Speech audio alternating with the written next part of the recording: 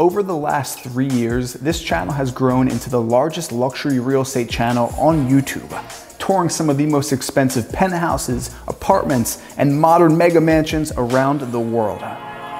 Now, usually these tours are top of the line production with the fancy drone shots and the steady cam work, but I think now more than ever, people just want to see an authentic look behind the scenes. From sleeping in a Jeep driving across country to suited up standing on the property of a $34 million mega mansion in California. I just did a 20 minute long meditation with some deep breathing here in the snow. And to be honest, I'm in the middle of the woods, so I'm probably gonna take off all my clothes and run around naked and get some cold therapy in. So in this video, I'm going to show you a vlog no cameraman, no fancy editing, just an honest look at a day in my life living in New York City as a luxury real estate agent. There's a lot going on today. I have a pitch for a $95 million penthouse apartment. I'm traveling to Los Angeles for the first time in over a year to film some, some of the most incredible properties we've ever seen on my channel. And if you wanna see a more realistic look at my life, give the video a thumbs up for more vlogs. And with that, let's get into a day in my life. Seven o'clock in the morning. You know, a lot of times when you watch a day in the life or a vlog and people film themselves waking up and they're like, oh, I just woke up. I, I actually just woke up, hence the bedhead. Big day today. Big day today. Okay, all right. So, most mornings I try to get up around five. Sometimes I'll sleep in. Today was one of those days because today is a snow day. All right, good morning. Good morning, Theo. You wanna go play in the snow? Yes, you do. Let's go play in the snow. Every single morning, the first thing I do is take this beautiful beast out on a nice walk. And I actually have a flight today, so let's hope, fingers crossed, that that doesn't get canceled. It is a blizzard out here. Look at this. I mean, it is just coming down hard. What do you think, Theo? What do you think, puppy? Good boy. I feel like a lot of times the weather forecast and they hype it up to get the clicks in the news. Uh, they say it's gonna be a blizzard, but I think this might actually be a blizzard. New York has turned into a tundra and Theo even met a wolf an actual wolf. We were playing at the basketball courts and this wolf just comes out of nowhere and they were playing for a good 45 minutes out there in the snow. Also super important, if you do have a dog in the city, make sure to wash the paws off, shake, because the salt can really mess up their paws. There you go, you have to lure him with some food sometimes. Rinse it off. There we go. Before I do anything else in the morning, I'll get a stick of sandalwood incense, I'll light that sucker up, and I will meditate. And this is a deep breathing meditation. It's actually the Wim Hof method. When I first saw the method on YouTube, I questioned it. I was like, okay, I'm a bit skeptical. This looks like a bunch of just, this looks like just a fad. And then I bought his book and I actually tried it out for the first time. I had never felt such clarity and I've been doing it every single morning, followed by a cold shower.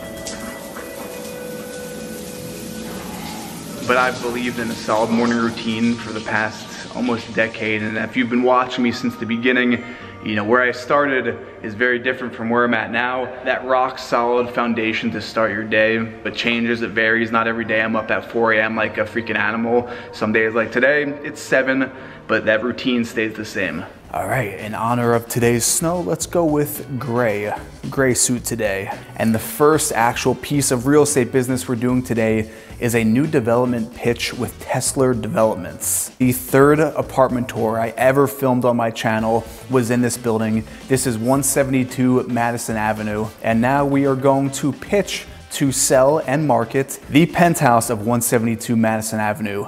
It's just under 20,000 square feet.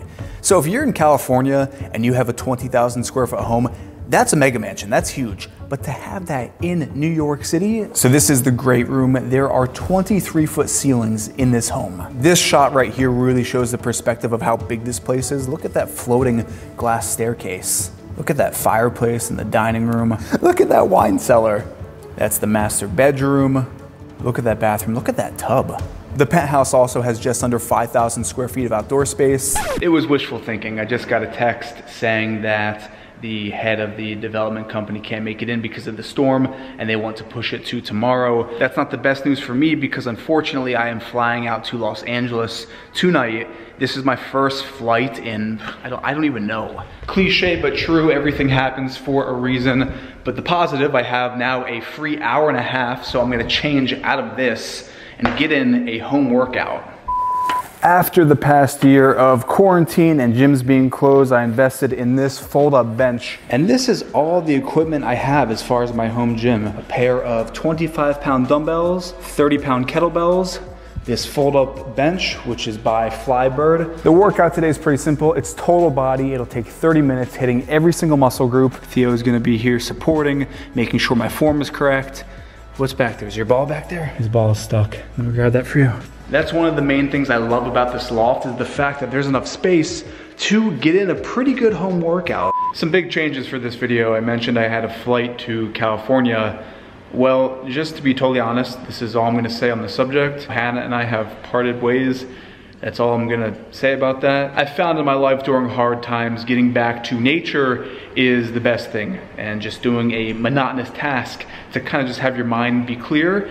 So we are now, rather than flying, the two of us, where's he at? The two of us are gonna drive across America. 2,800 miles away. Here we go. Essentially, we loaded up the car and just hit the road. We haven't checked the weather, which maybe we should do that at some point. This video is at this point a total 180 from the original concept of a day in the life of a luxury real estate YouTuber.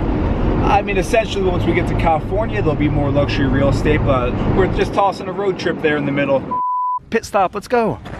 The name of the game is whatever Theo's nose touches, I have to buy. That's actually a very good idea for a Mr. Beast video. Mr. Beast, if you're watching this, credit, whatever you want, Theo, you're in control. Okay, he wants the cats. Literally ran right into the cat. He is so confused. I don't think he's ever seen a cat before. That's a cat. He's like, nope, no thank you. Theo is not a fan of cats. Oh, someone's a happy puppy. Yeah, when we get in the car. You've been such a good boy, you get treats. All right, let's go back to the car, come on. There's about a foot and a half of snow. As you can see, this dog is up to his belly in snow. There goes his head buried in the snow. what is he doing? This dog loves this snow so much. Look at him go, look at him go. It's like a rabbit. There's gonna be a lot of snow this whole trip. It's the middle of winter. We drove all night. We're in the middle of America. It's pretty foggy. It's cold, it's seven degrees out. But we are making progress and now we have to decide if we're going to continue to go north. There's a pretty big storm some snow. It looks like a little bit of freezing rain. South, though, we'd avoid the weather potentially. We'd still have to go through some freezing rain, though, so, I mean, you'll see in the next clip where we are, in the snow or the rain.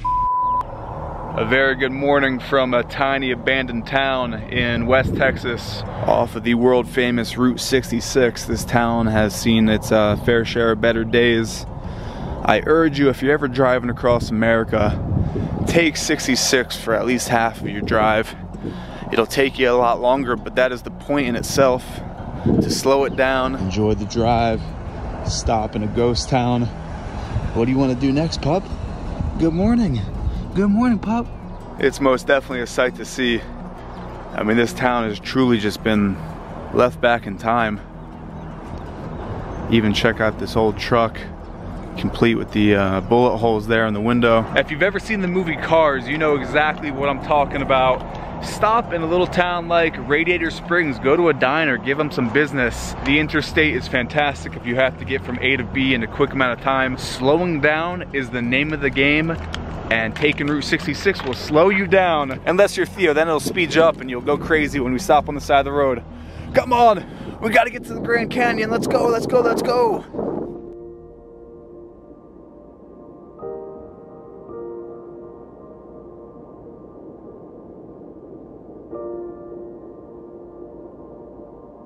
This is the point in the journey where you're 27 hours into a 38 hour drive and all you have are your thoughts. Number one, the moment that I left New York, this thought entered my mind. The perspective that through some hard work and, of course, a bit of luck, I'm fortunate enough to live life on my own terms. To decide on a whim that I wanted to drive across the country and more importantly had the freedom to do it. You know, five years ago I had to ask my boss for permission to use the bathroom. And that's why journaling is important. For me, it keeps that perspective so fresh that you never forget where you came from to help remind you where you're going in life. This right here is a journal entry. Driving across country alone gives you that time to dive deep into your thoughts. The only voice you have to listen to is your own.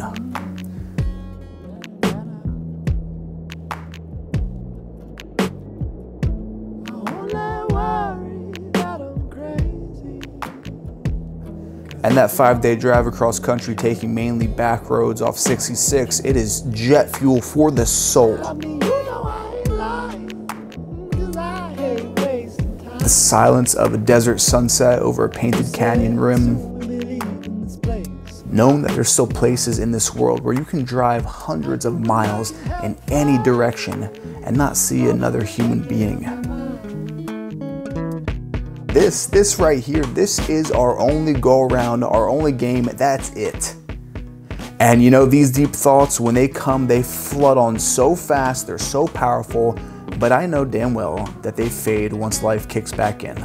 I know when I get to Los Angeles, there'll be scheduling issues, reshoots. I mean, I got a fat nail in my tire, my windshield cracked on the drive out here. But the main thing, if you're lucky enough to experience it, is holding on to that feeling when the routine of your life takes over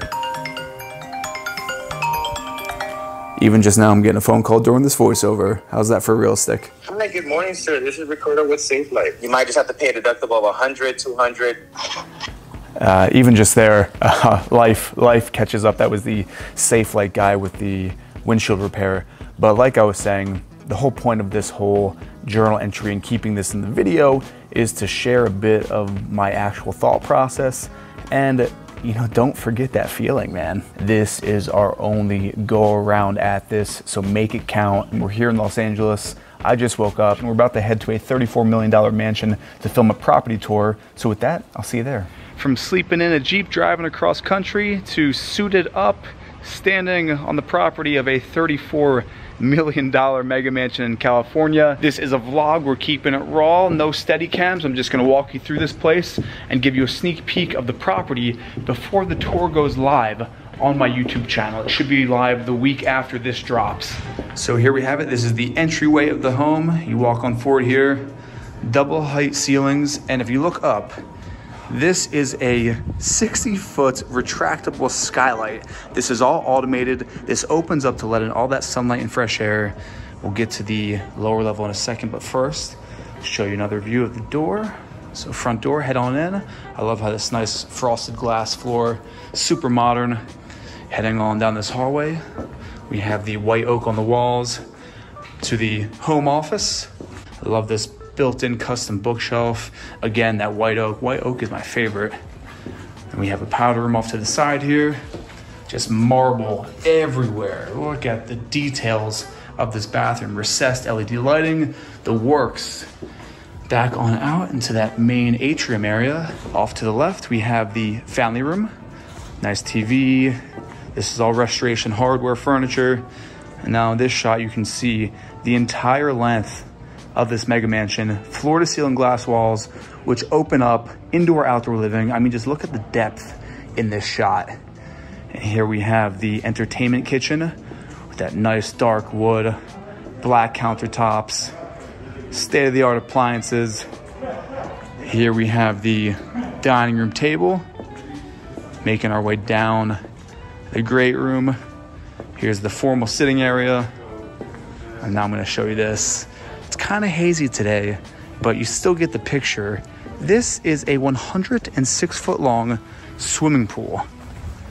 So there's a hot tub right here built in. This is the Baja pool. It's just a little shallow bathing pool, sit in your nice chairs. And now even there is a lily pad pond, I believe it's called, just because here you get the true perspective of a 106 foot long swimming pool unreal. I mean, this house is gorgeous. It's so beautiful. We're gonna make our way back inside. Also, this is a cantilevered awning, meaning there's no support holding this sucker up. You can see right there how far it shoots out. We're gonna head back on in. Here we have the sky bridge leading to the master suite.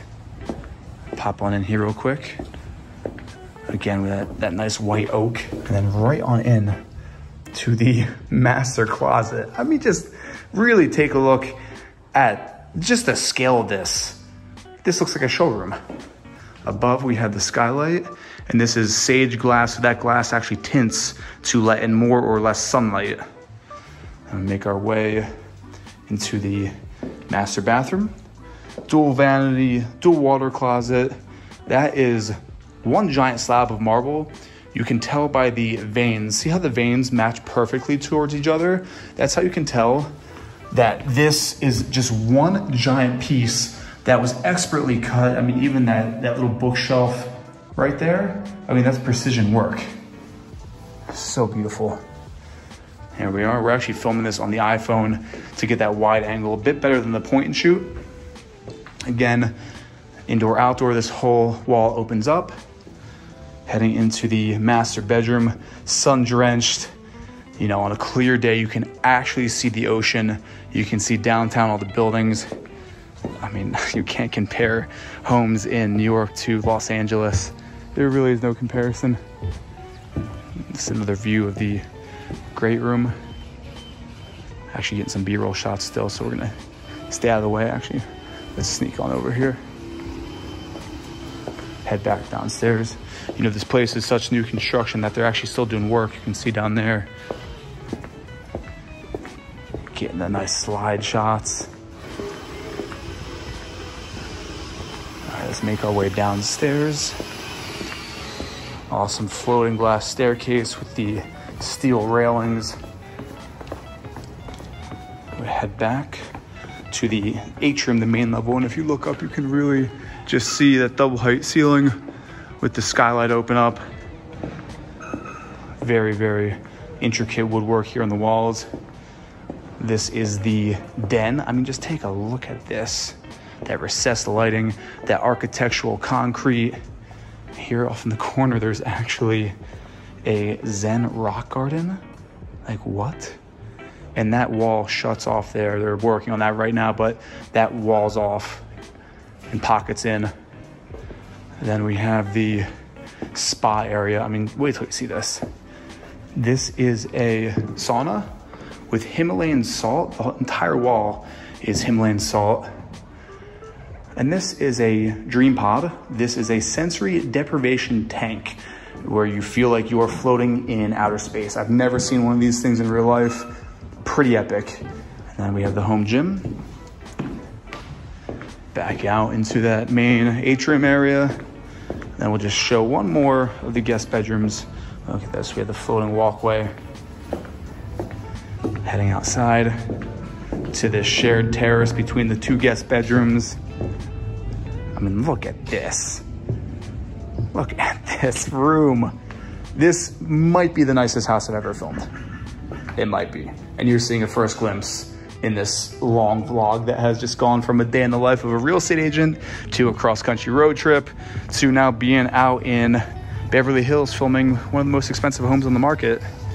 Pretty wild ride.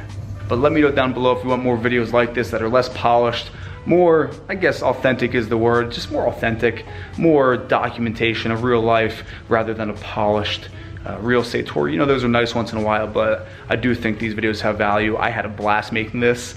But yeah, give it a thumbs up, leave a comment down below, let me know how you're doing. And with that, I will see you in the next episode of this new vlog series.